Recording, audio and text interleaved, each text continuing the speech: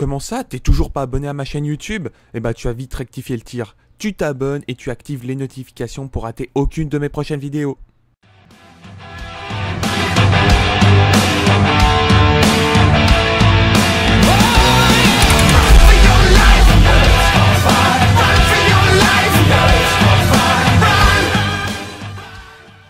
Hey, salut les gens, salut tout le monde, salut tout, comment allez-vous? Écoutez, moi je vais super bien. Aujourd'hui on se retrouve pour une toute nouvelle vidéo avec un gameplay de ouf que je vous propose aujourd'hui. C'est un plus de 113 Gunstrike. 113 Gunstrike, ce qui signifie 100 kill à l'arme sans mourir. C'est un gameplay d'exception, ça je peux vous l'assurer, il n'y en a pas beaucoup sur YouTube.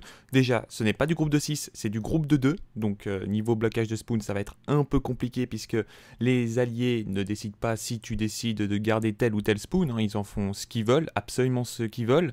Donc c'est quand même assez compliqué en groupe de 2 déjà de sortir un plus de 90 GS, donc 90 Gunstrike pour les Français, mais un plus de 113 Gunstrike, c'est une quad nucléaire équivalente fail, c'est hyper compliqué. C'est hyper compliqué, franchement c'est un de mes gameplays où je suis, on va dire, le plus fier, même si c'est de l'hardcore, je vois déjà certaines personnes parler de l'hardcore, mais ça va être le sujet d'aujourd'hui, une comparaison entre le normal et le hardcore. Donc déjà, laissez-moi vous présenter le gameplay, comme je vous ai dit, c'est un 113 Gunstrike en domination hardcore sur Fringe à la M8 A7, ma classe est le viseur réflexe, canon long, chargeur rapide cross avec surcadençage pour avoir mon spécialiste beaucoup plus rapidement. En fait, hein, c'est euh, l'armure cinétique. Hein. c'est vrai qu'en hardcore, tu peux pas vraiment te passer de cela.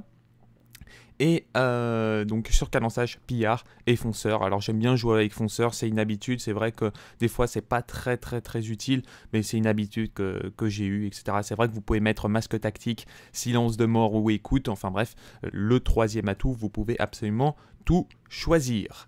Voilà, donc c'est dit par rapport au gameplay. J'ai mis également euh, drone, drone, euh, non, drone Hater et euh, le système IEM. Alors pourquoi le système IEM Tout simplement pour bloquer le spécialiste de mes adversaires, tout simplement parce que c'est vrai que dès que tu en série et tu vois quelqu'un, je sais pas, qui va mettre une petite armure cinétique ou sinon un coup de tempeste, c'est vrai que c'est quand même assez embêtant. Donc on essaye de bloquer au maximum ce genre de spécialiste pour réaliser le plus gros des gameplays que possible. Voilà, cela est dit, aujourd'hui on va débattre par rapport au normal et au hardcore. Alors faut savoir qu'à la base, vraiment à la base, avant Black Ops 3, j'étais un joueur normal. Je jouais qu'en normal. Euh, sur BO2, je faisais euh, du DE, donc DE forcément c'est du normal. Sur Call of Duty Ghost, pour moi le hardcore n'était pas vraiment nécessaire. Ensuite, sur Advanced Warfare, bah, je faisais également du normal. Et sur Black Ops 3, c'est vrai que je suis beaucoup plus un joueur hardcore qu'un joueur core. Un joueur core, c'est joueur euh, du multi normal. Mais pourquoi? Et là, c'est là où ça va être très intéressant. Pourquoi je joue beaucoup plus en hardcore qu'en core?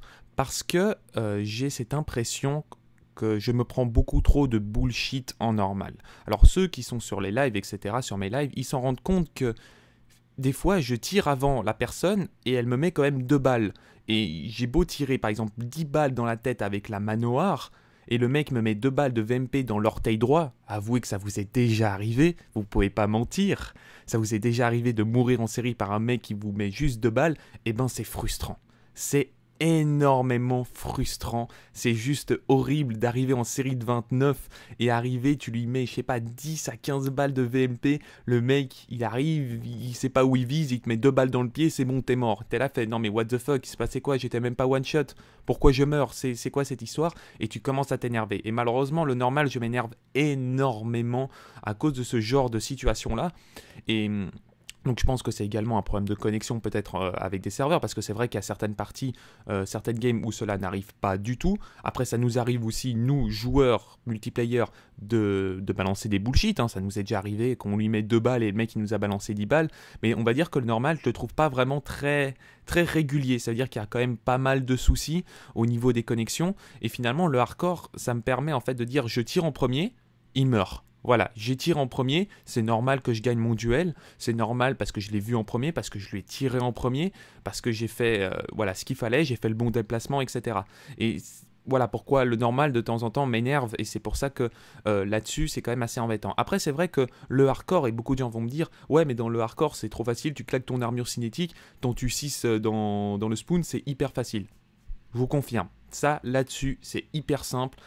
C'est assez facile de claquer une nucléaire en hardcore, mais il faut pas oublier un truc. Une nucléaire en hardcore, euh, certes, est quand même beaucoup plus simple qu'en normal. Je vais pas vous dire le contraire, mais suite au problème de bullshit qu'il y a en normal, on ne peut pas vraiment nous, comment dire, nous reprocher le fait que euh, on joue qu'en hardcore. Le problème, c'est qu'il y a tellement de problèmes en normal, niveau connexion, etc., qu'on va tout de suite aller en hardcore et se dire ouais, bon, bah maintenant je l'ai tué, je l'ai tué, tu vois. Il va pas me mettre un bullshit en hardcore, ou sinon, s'il si, met un, vraiment un gros bullshit en hardcore, c'est vraiment hyper rare. Alors, parce que pour l'instant, ça m'est jamais arrivé. Ensuite, la deuxième des, la troisième des choses, comme je vous ai dit, l'histoire du spoon kill en hardcore qui est beaucoup plus. Euh, c'est vrai, violent, on va dire, euh, que le corps, mais il faut quand même dire un truc. C'est que en hardcore, dès que tu tombes face à des adversaires qui rushent beaucoup, c'est beaucoup plus fluide. C'est beaucoup plus fluide, c'est-à-dire que tu peux être vraiment très très très agressif, tu peux rusher à fond, tu peux affronter ton adversaire, etc. Tandis que en normal, si tu te prends chaque fois des bullshit, mais vraiment à chaque fois des bullshit, et le mec, tu arrives, tu le rushes, et il est là, il dit Ouais, mais j'ai tiré deux balles au jugé et je me prends la balle. Et t'es là, fait Ouais, mais je peux pas rusher aussi vite, je peux pas faire autant euh, de kills en normal qu'en hardcore si je rush autant voyez ce que j'essaye de dire? C'est vrai que je suis un player qui aime bien l'agressivité, qui aime bien attaquer le spoon, qui aime bien faire mal, qui laisse aucun répit à mon adversaire. Et ça, c'est un gameplay que j'adore voir, j'adore attaquer mon adversaire. Je n'aime pas être en, en, mode temporisation désormais. J'aime beaucoup attaquer mon adversaire, avoir un gameplay nerveux. Voilà, j'aime des gameplays nerveux.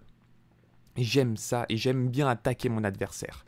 Ensuite, euh, le dernier point, et ça c'est un point négatif par rapport au hardcore, c'est vrai que le hardcore, il y a de plus en plus de tryhard, il y a de plus en plus de personnes qui viennent en G6 avec des armures cinétiques, etc. J'ai déjà fait des débats là-dessus, je ne vais pas en revenir, voilà, c'est vrai que c'est assez horrible, euh, c'est vrai que ces personnes-là, voilà, ils essayent de faire certaines choses, mais après, il faut aussi comprendre qu'en hardcore, et ça aussi c'est encore un autre point négatif du hardcore, c'est qu'il y a beaucoup, beaucoup, beaucoup d'alliés qui s'amusent à vous tuer ou qui font strictement rien, qui vont rester au fond du spoon, qui finalement on ne sait pas qu'est-ce qu'ils foutent sur Call of Duty On va clairement le dire, on ne sait pas qu'est-ce qu'ils foutent sur Call of Duty.